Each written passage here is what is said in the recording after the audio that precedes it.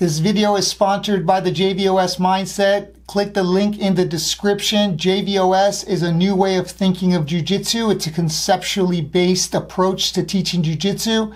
It's a new way of simplifying a very complex art.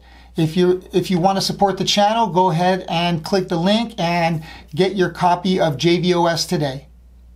Welcome to the Master Plan Lecture Series. My name is Javier Vazquez, and today we have a very important lecture. The lecture today that we will be discussing is about the central path, what it's about, and the philosophy behind it. So let's go ahead and get started. So, first of all, let's start by explaining what the arrow signifies. So, the arrow signifies motion over time. And the reason that the arrow is blue is that every map that has been created for each particular perspective. The central path is always signified in blue. So the arrow signifies motion over time, and the color is going to signify all of the techniques that fall within the central path. So that is the significance of the arrow and of the color blue. My goal while fighting. My goal while fighting was to avoid damage at all costs by not getting hit. My, my, my primary academy rule, rule number one, is to not get hit, to not get finished by either submission, knockout, or TKO, to not inflict unnecessary damage. A lot of the strikes that I threw in my MMA career were more so to set up positioning and look for submission rather than to hit hit people for no reason or to uh, inflict unnecessary damage. My goal was also to finish fights as soon as possible. I did not want to be taking unnecessary damage or potentially risk injury by prolonging fights.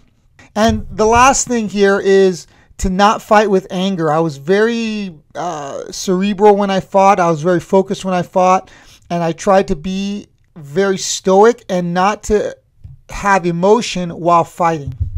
Again, the arrow signifies uh, the central path being the primary attack strategy. The central path is a mindset.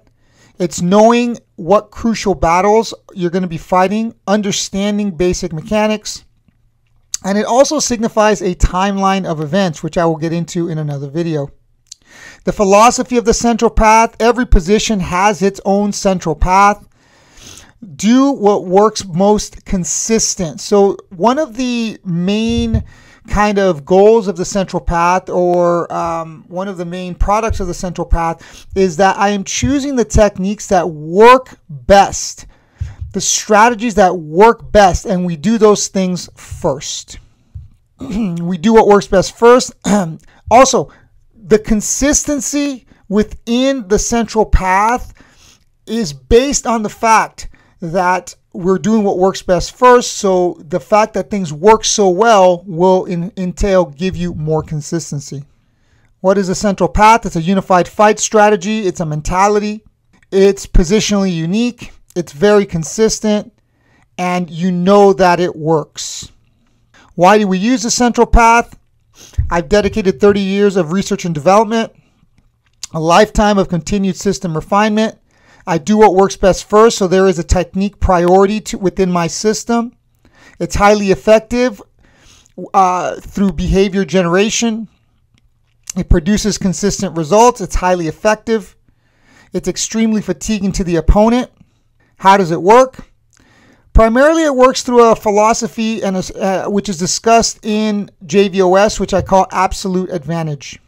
These are positions or battles where you will win the vast majority of the time. I would say 80% just to throw out a number. Most of the time, you're going to win these battles more than you lose.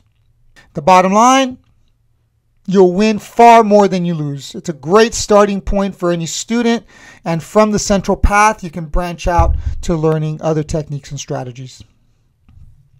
The central path is one of the key pillars to the master plan. Each position has its own central path, and with as the time goes on, I will share with you what each position's central path is all about.